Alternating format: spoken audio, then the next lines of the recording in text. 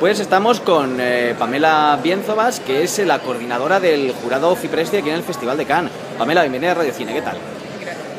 Oye, queríamos saber en primer lugar qué es el eso de Fipresti, que siempre se dice que es la Federación de Críticos de Cine, ¿no? ¿O qué, ¿En qué consiste Fipresti? ¿Quiénes formáis parte de Fipresti? Literalmente es la, eh, la- la sigla de Federación Internacional de Prensa Cinematográfica Ajá, y es lo que se conoce como la Federación de la Crítica Internacional. sí. Eh, y es entonces una federación de asociaciones de muchos países, incluso algunos miembros individuales en países donde no hay asociaciones, de, a lo largo de todo el mundo, a- en todos los continentes. Eh, ¿y, quiénes, eh, ¿Y quiénes, digamos, forman parte de, de Fipresti? ¿Todos los que son los eh, críticos de cine? ¿Tiene que haber algunos requisitos? ¿Cómo, ¿Quiénes estáis ahí? Eh, bueno, como es justamente una federación de asociaciones, a veces tiene que ver con el criterio de, local, el, el criterio nacional, Ujú. eh, pero son bueno, básicamente críticos de cine de todo el Sí. mundo. Hay, hay gente que crítico de diario, a gente más académica, hoy día eh, entre los más jóvenes hay también mucha gente de medios, eh, medios electrónicos, o sea, la, la forma justamente, eh, cómo ha cambiado la manera en que se practica la crítica y también las condiciones de trabajo y todo eso se ven representados, o sea, hay de todo. Ajá, muy bien. Eh, y luego, digamos que lo que tenéis es premios en todos los, lo- bueno, por lo menos en todos los festivales, de luego siempre suena el premio de Fipresti como el premio de la crítica. Claro. Eh, ¿Por qué? ¿De dónde surge esto de los premios de, de Fipresti? ¿Qué- A ver, eh, justamente acá desde el primer festival se empezó a dar. Sí, el, pre- el en de desde el primero y ya llevamos Desde- 64. Exacto, exacto. Y eh, es la actividad más visible de eh, además de justamente ser un órgano que, que reúne a la gente y a veces se hacen otro tipo de actividades, conferencias y bueno, cosas de extensión. Lo más visible son los premios eh, que entregamos en festivales a- o también algunos premios especiales.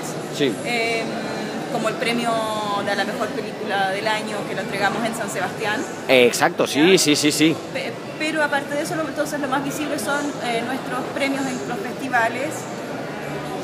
Muchas decenas, unos 60, 70 festivales más o menos tienen jurado Fipresi y se le llama el Premio de la Crítica Internacional. Ujú.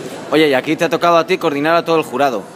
Exacto. ¿Cómo es eso? Eh, bueno, básicamente es porque como Cannes es un festival muy grande y tenemos Sí. un jurado grande que se divide para cubrir eh, Ujú. y entregar tres premios. Ajá. La coordinación es más que nada mm, conseguir el espacio donde se reúnan y todo eso Ah, y claro. tratar de ver que, que, mm, que se comuniquen, si es que no todos hablan francés, etc. Ah, claro. porque, bueno, he, he sido jurado una vez, pero sé- aquí en Cannes. Sí. En otros en muchas, pero aquí en Cannes justamente sé que es muy difícil porque hay tantas cosas por hacer, ¿no? Claro. Eh, entonces, no, la coordinación y luego para la, la ceremonia nosotros entregamos el premio un día antes, el sábado. Ajá. Y ha sucedido bastante que coincida la- el premio Fipresi con la Palma de Oro. O sea, que ese mito de que la crítica siempre se mete con el jurado y que no estamos de acuerdo, digamos, no es tan exacto, ¿no? Varios de los últimos años eh, coincidió y justamente mostraba que no. Ajá. Entonces, bueno, y también organizamos esta, esta ceremonia que es la primera más importante de los premios paralelos.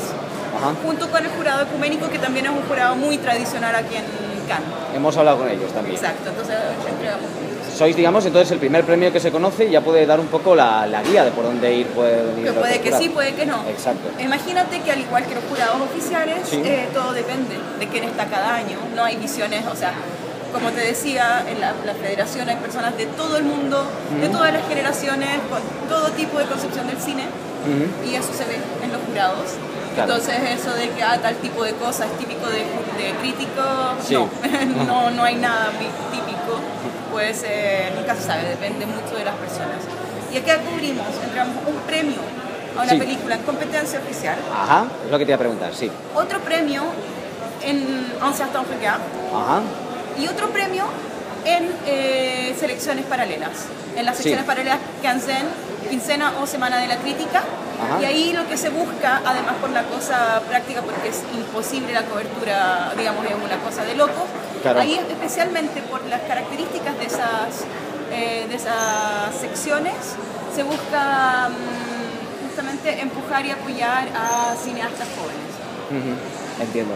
Oye, ¿soy muchas personas las que forman parte del, jurado? ¿Y cómo, cómo, seleccionáis o cómo elegís cada año los que forman parte? Eh, los miembros postulan a través de sus secciones nacionales. Ajá. En general, o sea, es así con todos los festivales. Entiendo. Eh, como cada sección nacional, bueno, se postulan a través de ellos, postula a, alguno de sus miembros para tal y tal festival. Luego se arma un poco buscando un equilibrio, que no que vaya gente de distintos países, etcétera. Y aquí son nueve personas, nueve personas para armar subjurados que obviamente se pueden cruzar si la gente ha visto todo, pero para tener gente cubriendo en los tres, en, estas tres eh, subsecciones. Eh, Ajá. Oye, y ya que este año tú no eres jurado, sí que nos puedes decir qué tal te están pareciendo las películas que has visto hasta ahora, si tienes alguna favorita, alguna que has dicho, ay, ay, ay, ay, qué ganas me dan de salir, no sé, ¿cómo la has visto? A ver, he tenido bastantes decepciones, algunas sorpresas. Eh, he tenido algunos días también que por el trabajo cotidiano eh, he podido ver pocas cosas y me, he saltado mucho. Eh, hoy ha sido un buen día que por el momento solo con dos películas, hoy día un día muy raro en cuanto a los horarios, difícil organización y las dos cosas que he visto han sido muy, muy eh, entusiasmantes, ¿no? Sí. Que es eh, y Cavalier. Em, también una gran, no sé si una gran sorpresa, porque, pero justamente una gran satisfacción fue la película de apertura de la Semana de la Crítica, que me parece que, em, que justamente cumplía con esa promesa de la Semana de la Crítica de cosas jóvenes, miradas nuevas, más creatividad e inversión. Muy bien. Y oye, la, la que declaré. Exacto, sí. Ya aprovechamos que aunque tú vivas en Francia, eres chilena, por eso hablas también español, digamos. Eh, ha habido también su pequeña participación de cine hispanoamericano, chileno. ¿Cómo ves en general, un poco ya para no reducirnos solamente a, a Chile, cómo ves el, el cine, el cine hispanoamericano. ¿Se está hablando ahora de cinematografías o quizás son más directores en concreto?